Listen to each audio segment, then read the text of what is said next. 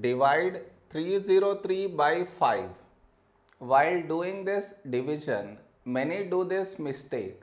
What is the mistake that they do? I will let you know. But before that, we should frame it in this way. See, that is 303 and 5 here. Okay. Next. Now here we have 3. 3 is smaller than 5. So we take two numbers that is 30. When do we get 30 in 5 table? 5, 6, 30. Now you subtract. 30 minus 30 is 0. Now we bring down the beside number 3 down. This is where the mistake happens. And the mistake is this one. Here we have 3. Here 5. 3 is smaller than 5.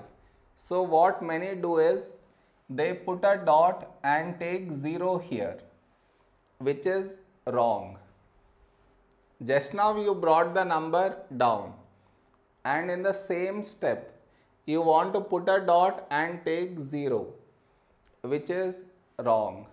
I repeat bringing the number down and putting a dot and taking 0 both at the same step you are not supposed to do. Instead what you should think of is what number should we write here? If we write 5 here that is larger than 3. So what we do is we take 0 here. So 5 times 0 is 0. Now you subtract 3 minus 0, 3. Now over here we did not bring any number down and 3 is smaller than 5. So now you can put a dot and take 0 here. Here we have 30. When do we get 30 in 5 table? 5, 6, 30.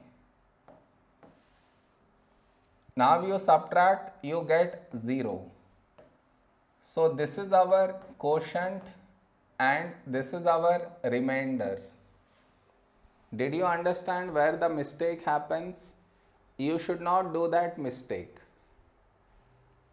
Am I clear?